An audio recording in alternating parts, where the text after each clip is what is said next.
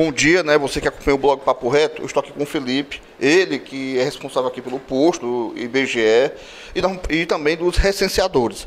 E vamos falar um pouco, né, Felipe, sobre o período que vai acontecer isso em todo o é, território itapajense e também nas regiões, né? E a gente vai tirar várias dúvidas aqui, aproveitar para a população ficar por dentro como funciona esse recenseamento. É essa a palavra certa? É, recenseamento, a coleta, né? O censo demográfico que. Pode soltar, né? O censo demográfico vai acontecer em todo o Brasil a partir de 1 de agosto. Né? A gente tem uma estimativa de três meses de coleta. E aqui em Tapajé, fazendo essa divulgação para é, esclarecer mais a população, para diminuir a rejeição é, que acontece caso os recenseadores cheguem no domicílio das pessoas e as, as pessoas terem mais confiança, né? Eles vão estar portando um colete com crachá, vai ter o QR Code, você pode pegar o seu celular e ver lá o cadastro dele no sistema. Isso para diminuir todo tipo de rejeição e ter maior credibilidade, né?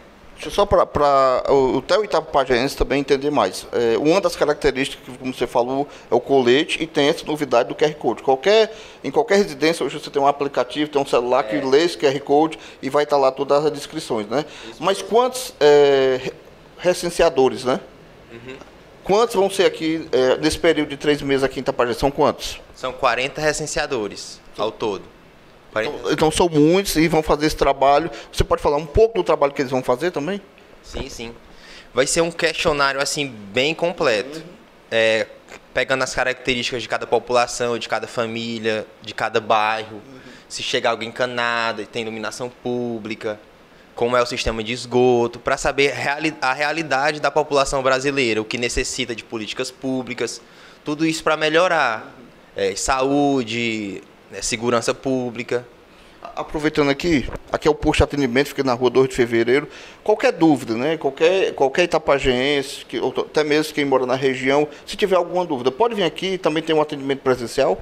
Pode vir aqui de segunda a sexta-feira, de 8 às 5 horas da tarde. A gente está aqui. Qualquer dúvida, pode vir aqui no post que a gente tenta tirar todas essas dúvidas. É, deixa eu, só para a gente finalizar, eu quero até agradecer, parabenizar o trabalho, que é muito importante uh, essa novidade, né, também é, de forma online, essa questão de reconhecimento via QR Code também.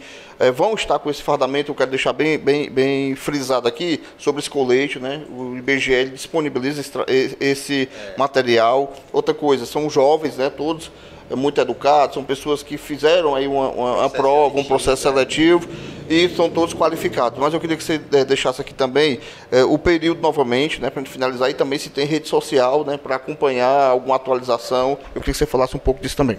Tem, é, como a gente já falou, são três meses de coleta e tem as redes oficiais do IBGE, tem o site, você pode ir lá botar no, no IBGE, tem todo um, um sistema bem bonitinho informando vai ter as características, já vai ter assim a quantidade estimativa de pessoas recenseadas, de família.